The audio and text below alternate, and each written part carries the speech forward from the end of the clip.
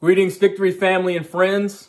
This is the day that the Lord has made, and we rejoice and are glad in it. My name is Paul, and I'm privileged to serve as pastor of Victory Church. And I'm so glad that you've decided to tune in and worship with us today. Those who are in fellowship with Victory, uh, we love you and thank you for tuning in. Those who are friends of Victory and just choosing to join us today, we love you as well and thank you for, for joining us. Uh, I want to say a, a thank you to all of you for your giving. Uh, you know, while I know that the, we primarily give out of a response to God for all he's given through his son to us, that which we did not deserve.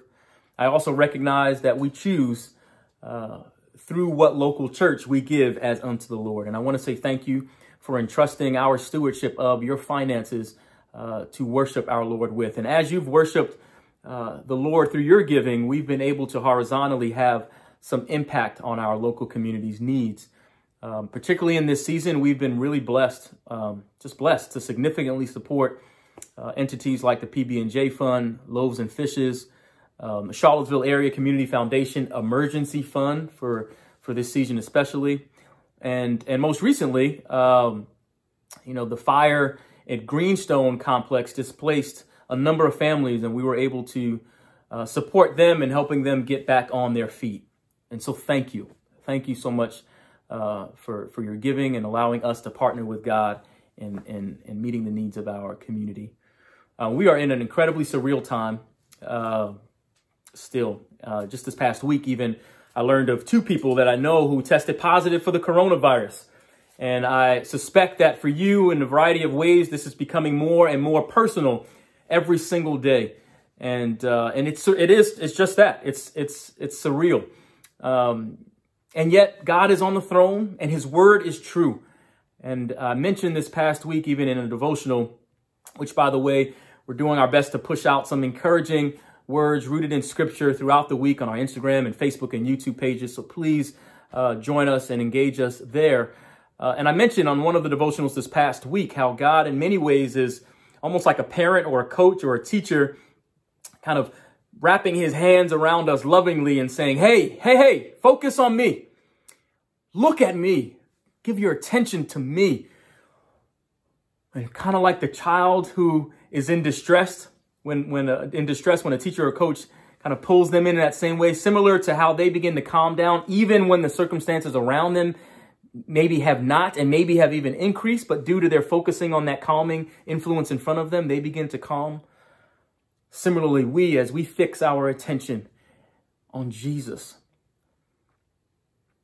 as we listen to him, as we embrace him, we can also embrace the peace that passes all understanding, the hope amidst unrest that doesn't make sense, except that it is embodied in Jesus Christ. We too, as we allow our attention to be given to him, can embrace that which is supernatural so that's an encouragement for all of us today to do amidst circumstances that are not great and in many ways are getting worse. And as we do that, I, I do want to say that I too grieve. Uh, I grieve the losses, the, the myriad uh, variety of levels of losses that uh, that are being incurred in this moment. The loss, for example, of uh, not being able to visit loved ones who are living in elderly communities where uh, they're essentially on lockdown. I grieve that loss. I grieve the loss of, of physical life. Uh, there's a teacher in Loudoun County Public Schools, a county in which I worked for several years, Susan Rokas, who passed away uh, this week. I grieve the loss of Susan and pray for all those close to her.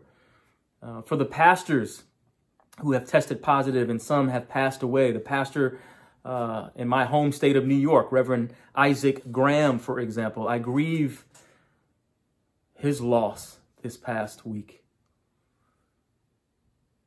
And I recognize, even as we move through this and no doubt uh, get back to, if you will, sort of normalcy, that many won't be getting back to normalcy. Uh, the spouses of those I mentioned, those I mentioned especially, and the families of those I mentioned, they're not going back. And I just want to acknowledge and, and, and grieve, if you will, the losses that we have occurred and encourage you to do the same. Uh, It's not easy, and there's loss on a variety of fronts, as mentioned, to be grieved. And yet, I'm thankful for Jesus. Thankful for him. And I've always committed to uh, just being even careful how I approach him in these spaces. Um, not in an accusatory tone of why God, but but saying, Lord, how do I reckon? How do I reckon with such loss in this space? Show me through your word how I can manage the tension of, of grieving the loss while simultaneously seeing you high and lifted up on the throne on which you still sit, the Prince of Peace, who you still are, the word of whom never returns void. And I'm thankful for words like 1 Thessalonians 4, for example, that says that we don't grieve as those who have no hope, which means we do grieve. We sit with, with what is a difficult space, if you will, but not as those who have no hope. That the hope of glory is in the boat with us. That ultimately God is coming back to bring back with him Jesus those who have fallen asleep. And Romans 8 28 that tells us that he works somehow all things together for his good for those who love him and are called according to your purpose. I don't see it, can't even wrap my hands or brain around it. But then again, if I could, you wouldn't be God. I would. And so in some ways, I'm happy that I can. I just know that we can grieve and have hope. And that's the encouragement today to have hope as we grieve. And we can do so because of the hope of glory that lives on the inside of us. Can we just pray into that for a moment? Heavenly Father, thank you for being just that a Heavenly Father, a Lord, a Savior on whom we can rely, in whom we can trust. Thank you for peace that passes all understanding. And I pray, according to 1 Peter 5 and 7, that we are able to cast, throw off the weights, the anxieties, the cares that can so easily burden us down. Help us to throw them off onto you and embrace your peace that does pass understanding, that doesn't make sense. Help us to embrace the hope that is only embodied in you in this season. It's in Jesus' name we pray. Amen. Amen. Uh, we, we are encouraged by his word and we are uh, increasing uh, our faith according to his faithfulness that is great and never wavers. And so we're praying for you every single day, again, amidst the circumstances that we uh, that we are, are, are simultaneously grieving the real losses while fixing our eyes on Jesus, the author and finisher of our faith. Amen. Amen. We're going to continue in the word. We're pretty much already in it, but we're going to flip now to uh, the book of Genesis. Uh, we're going to be looking at uh, chapter 26. And we're going to look at verses 1 through 6, verse 12. What a friend we have in Jesus. What a friend we have in Jesus. All our sins and grief to bear. What a privilege it is to carry everything to God in prayer. Love to talk to Jesus and, and love to talk to him with you. And, um, and back to the uh, 9.30 call that we've been doing every Sunday. Um, if you want to be a part of that, it's a it's a way that we can have together in a Zoom space to uh, to do just that. It's it's a privilege to call on Jesus together. Genesis chapter 26 is what we're looking at, uh, verses 1 through 6 uh, and verse 12. Lord, just help us this morning as we study your word. In Jesus' name we pray. Amen. We've been in a we've been in a series before we read uh, entitled uh, Reconciliation uh, reconciled to God and each other, which if you heard the vision prior, you know that that is our vision here at Victory Church. Uh, and of course, during the season, we've we've adapted, if you will, adjusted, particularly in the last two weeks, uh, the messages to speak um, to the pandemic we find ourselves in, while also highlighting a few points related to that that series title. And so we'll do the same, uh, the same today, and prayerfully through God's word, we'll will be encouraged and sharpened and edified as a result. Uh, Genesis chapter 26, verses 1 through 6 and verse 12. It reads this way. Now there was a famine in the land, besides the previous famine in Abraham's time, and Isaac went to Abimelech, king of the Philistines in Gerar. The Lord appeared to Isaac and said, Do not go down to Egypt. Live in the land where I tell you to live. Stay in this land for a while, and I will be with you and will bless you. For to you and your descendants I will give all these lands and will confirm the oath I swore to your father Abraham. I will make your descendants as numerous as the stars in the sky and will give them all these lands, and through your offspring all nations on earth will be blessed, because Abraham obeyed me and did everything I required of him, keeping my commands, my decrees, and my instructions. So Isaac stayed in Gerar. Verse 12 Isaac planted crops in that land, and the same year reaped a hundredfold because the Lord blessed him. The title of the message uh, this morning is Faith in Famine. Faith in Famine. And there are three points that I really want to highlight from this text today. The first is mimicking man might cause us to miss God. Secondly, firm faith forms firm families. And thirdly, plant where God calls us. There are incredible implications for famine. There's a widened sort of geographical space within which people are looking for for food. That's that that's increasing in terms of how far they'll go to to get it. Uh, there's a lot of movement on the part of people, and as such, it could lead to transmission of infections due to undernutrition and such. Um, there's a slowing down in agriculture or business, if you will.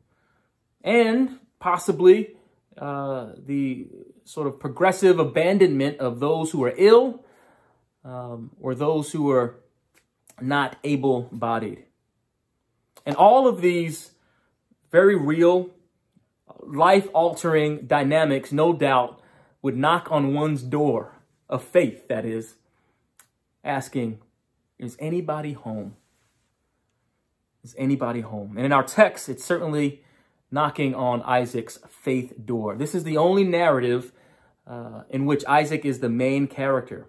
And this chapter uh, 26 of Genesis is all about Isaac. And its story is rather crucial in that it's speaking to the sort of the, the translating of the promise from one generation, Abram's generation, to Isaac's generation. And in the midst of adversity, uh, Isaac has some decisions to make. The adversity being by way of this famine that's come to him and his his wanting to basically change locations, but God coming to him and giving him instruction, different instruction, and direction and comfort along the way. And the first point toward that end, again, is mimicking man might cause us to miss God. Mimicking isn't altogether a bad thing, we should say. It, it, it's often what we tend to do when we're trying to emulate someone.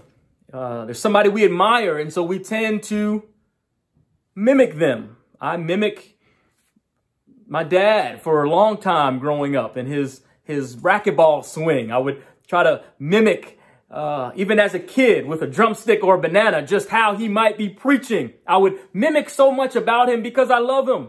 I admired him. It's not all together bad. There are some ways, if you will, and paths forward that um, until we can really appreciate or understand the why behind their why, the why behind what they're doing, just allows us, if you will, to progress a bit toward the path until we do really understand the conviction and the why behind what it is that they're doing. As the old adage is, says, uh, fake it until you make it.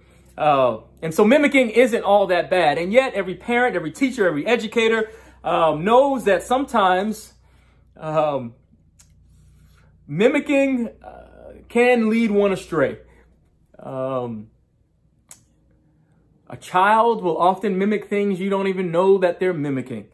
Um, and this is where the illustration will remain somewhat vague, but I know there are definitely times where uh, my child or children will will say something or do something and uh, my eyes will get really wide and there's nothing like the mimicking of a child mimicking of a child that will help you to change your behavior quickly i'll give you one i love cereal breakfast lunch and dinner, I can do it.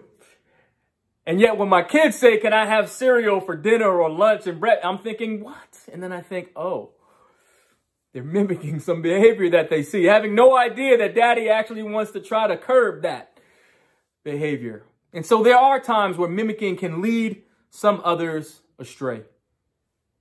And Isaac right now is in a very similar condition in this text that his daddy was in.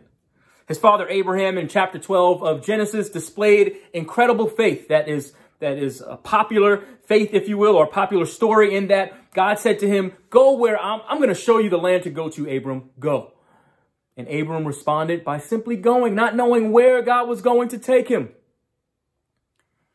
And 10 verses in, though, verse 10 of chapter 12, Isaac then does something that isn't so representative of that same faith. He chooses, after a famine comes in the land, the same land that we're talking about here in the 26th chapter with Isaac, in the face of that, he's basically like, peace, I'm out. Famine hit, I have no time to, to even, I'm, I'm gone. I need something to eat. Same person who displayed incredible faith on the front end of chapter 12 is now sort of displaying a head scratching behavior. And I wonder if there's any human being watching this who might relate. I know of a friend who is watching uh, a lot of Netflix these days and shelter in place. And um, one of the shows this friend stumbled across has to do with couples who are getting to know each other without ever seeing each other. And, and, and then they end up proposing to each other without ever seeing each other. And then they see each other and they spend time with each other. And what, what, what this friend tells me about the show is that then they start saying, wait a second, hold up. I didn't know you were that crazy. Didn't know you were that much in debt. Didn't know that you were white or black or that young or that short. I didn't know that. I'm out. That incredible faith I had on the front end. Yeah, well, the famine has come. I'm out. Abram, in many ways, had incredible faith, but in this space of when the famine hit, decided, peace, I'm out. Didn't deny God or anything like that, but he did in this moment forget God and forget to consult with him. Still a man of faith, but made a head scratching mistake as many of us do. And Isaac in this text appears like he's about to do the same thing. Heading to, to Gerar, which many scholars believe was kind of on the way, on the, in the trek, if you will, on down to Egypt, which is where his daddy went, where there was plenty. And it was there, it says, the Lord appeared to him in verse 2. Again, mimicking man might cause us to miss God. And in order for us not to fall prey to just mimicking man, we have to be well positioned, as Isaac clearly was, to see and hear God when he appears and speaks to us. Isaac was following the same path, had gone before Abimelech, uh, uh, the king in, in, in uh, the Philistines in Gerar, exactly what Abram did, though it was a different Abimelech a hundred years earlier, and, and Abimelech was a common name for kings of, uh, of the Philistines, but yet in the same spot, but but finds himself hearing and seeing God. And we talked about on another devotional just how we position ourselves to hear well of God such that we aren't just mimicking men. And those five ways that the word becomes a part of us such that we can be positioned well are hearing, reading, studying, memorizing, and meditating on the word of God daily. If we're to see God when he appears as Isaac did and hear God when he speaks to us, it would behoove us to become familiar with what he looks and sounds like. And we do that by nothing other than getting in his word every single day. And so here Isaac has God appear to him. And he says to, to Isaac, do not go down to Egypt. Live in the land where I tell you to live. And verse 3 says, stay in this land. I think what's important to note here is that God says, nor does anything about the famine. And if I could just make some, some application across a broad spectrum here. Uh, if we're thinking about reconciliation, for example, your spouse may continue to smack while they eat. Your male boss may continue to cut you and every female employee off when they attempt to contribute in a meeting.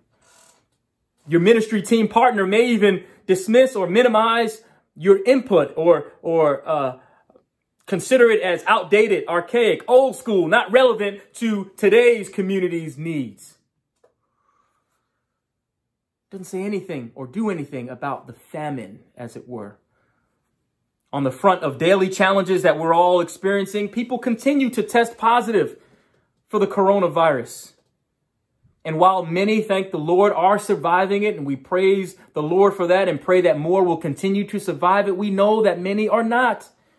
And we know that medical professionals are walking into these spaces with safety protocols not in place as they know it should be or being grossly underprepared in terms of the infrastructure of our health system. And, and knowing this, they're walking in every single day. There's nothing, if you will, that seems, God, you're saying about the famine or doing about the famine. He said nothing about the famine to Isaac. And why doesn't he? He's God, right?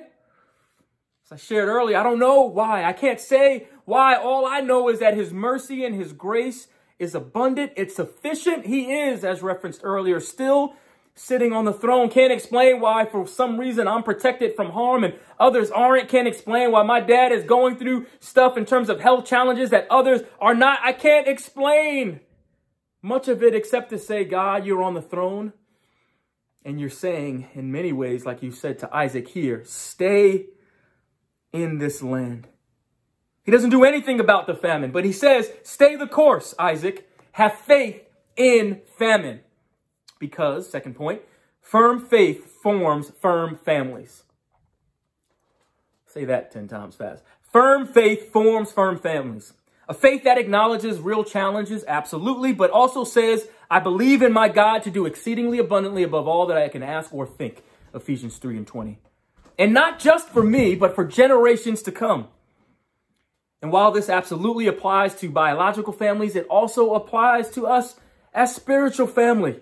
Your firm faith forms the firm faith of our community. It is why I referenced a bit earlier at our 930 uh, uh, discipleship moments that we have prior to this that uh, we have now just opened up. So if you're interested, uh, you can submit a connect card through our app and we'll be happy to bump up our plan to have as many join us on that call because all that we do is share testimonies so that the firm faith of, of some can inform or form the firm faith of our collective family. And then we pray on the back end for the pressing needs of our community so that when we hear those prayers answered, we can come back and express those testimonies of faith so that the firm faith can form the firm faith of our families in our community.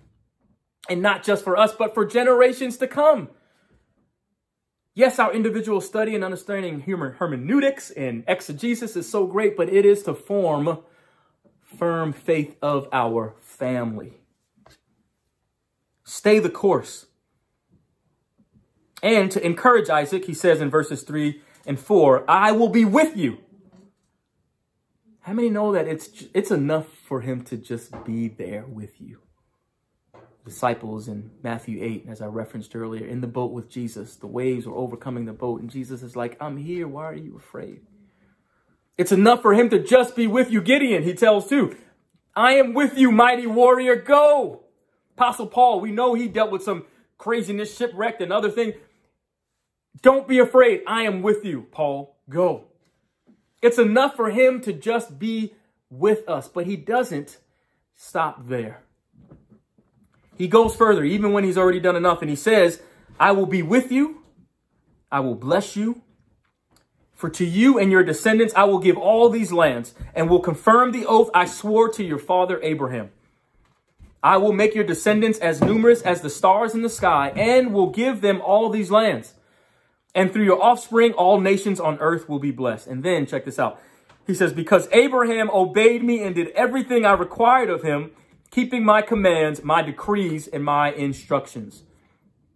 And so lest I be accused of just kind of leaving Abraham out there with uh, you know, kind of out there hanging out to dry, given his poor decision in Genesis 12, 10. It's because of his obedience that God is honoring the promise to further generations. And yes, I hope that's encouraging to you because the truth of the matter is all of us are making mistakes all the time and he can still and will do so much through you and your obedience to impact generations to come. Now, Isaac has the opportunity to also join his faith and continue in perpetuity the promises to the generations. And whatever happens to us in life, whatever challenges come our way, whatever harm we face, whatever the difficulty, COVID-19, infidelity, uh, uh, backstabbing, whatever it is that comes our way, our firm faith in God forms the firm faith of our family for generations to come. And particularly our firm faith in God in the midst of famine forms the firm faith of our families. And I'm convinced that Isaac, he was actually in a really good position to avoid the misstep of, of mimicking man at the cost of mimicking, uh, at the cost of missing God because there was enough that he had seen on the part of his father's obedience. There was enough that Abram had done.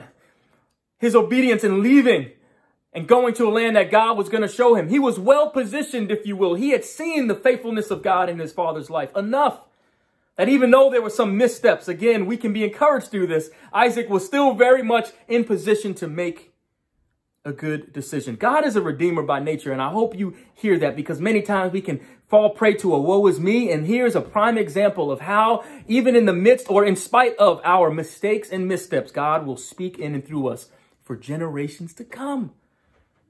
And yes, maybe it'll be hundreds of years like Abram. It was hundreds of years later when the, the, the, the promised land, the land of Canaan was given.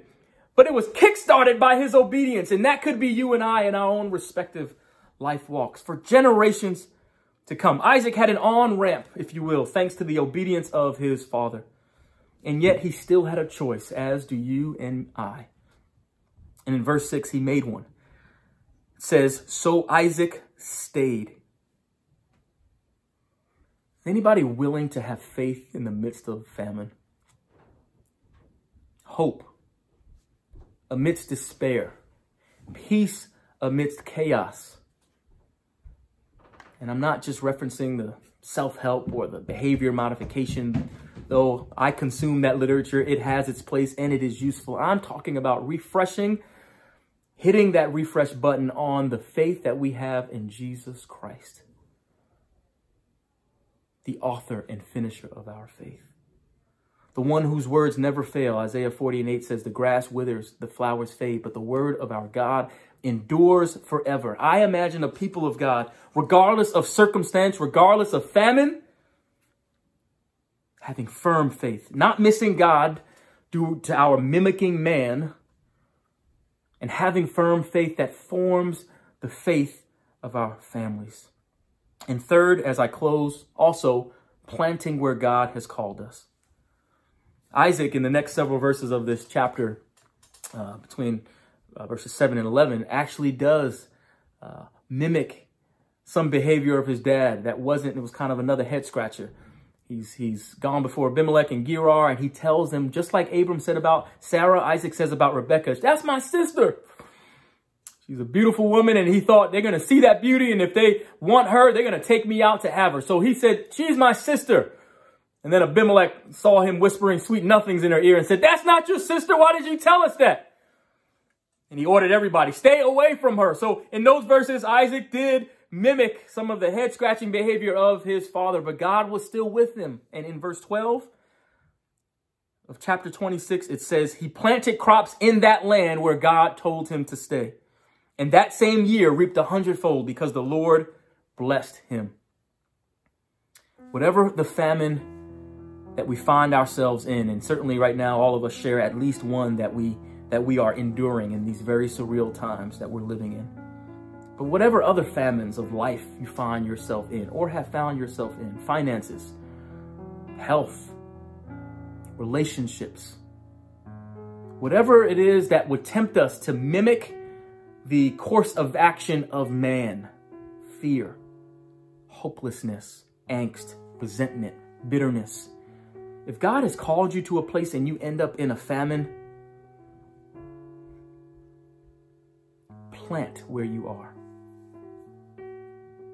Couples, that might mean that you plant in the midst of the famine of your relationship. Pick up, pick up uh, uh, The Meaning of Marriage by Tim Keller even if it's just you reading it because your spouse wants nothing to do with, with reading that book with you. Pick it up. Pick up Henri Nouwen's Wounded Healer. Even if you're wondering and trying to figure out how in the world, given my suffering, am I now going to be there for someone else? Pick up the best book on every topic there is, the Word of God. Look through the Psalms and see how we lament and pray and praise if you're struggling with how we talk to Jesus. Read Paul's epistles and see just what it looks like for us to live in unity. Start a small group, even though you might feel like imposter syndrome is going to overwhelm you. Plant where you are. And watch God through your individual and our collective faith.